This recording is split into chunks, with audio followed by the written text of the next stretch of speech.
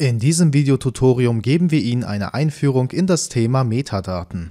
Dabei erklären wir, was man unter Metadaten überhaupt versteht und warum Metadaten wichtig sind. Nehmen wir an, wir haben im Rahmen unserer Forschung Daten generiert, zum Beispiel Bilder oder Texte. Nun möchten wir unsere Daten in ein Repositorium veröffentlichen. Bei der Veröffentlichung müssen wir bestimmte beschreibende Informationen zu unseren Forschungsdaten angeben.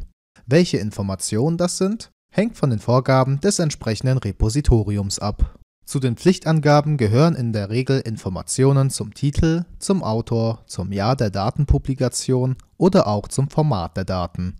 Diese beschreibenden Informationen über die Daten werden als Metadaten bezeichnet. Mithilfe der veröffentlichten Metadaten ist es für den Nutzer leichter, unsere Forschungsdaten im Repositorium oder Bibliothekskatalog aufzufinden.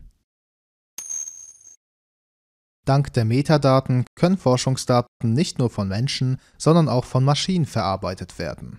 Dadurch können Datenbanken, Repositorien oder andere Plattformen untereinander Datensätze über Systemschnittstellen austauschen. Die Metadaten ermöglichen somit, dass die Forschungsdaten über einen längeren Zeitraum und über verschiedene Ressourcen einer breiten Öffentlichkeit zugänglich sind. Dies hat Vorteile, sowohl für Autoren der Daten als auch für deren Nutzer. Die Autoren machen auf diese Weise ihre wissenschaftlichen Ergebnisse sichtbar. Für die Nutzer wiederum können die vorhandenen Daten als Ausgangspunkt für neue Forschungsfragen dienen. Wenn Sie sich näher mit dem Thema der Metadaten, ihrer Nutzung sowie ihrer Generierung befassen möchten, können Sie die folgenden Videotutorien ansehen. Vielen Dank fürs Zuschauen.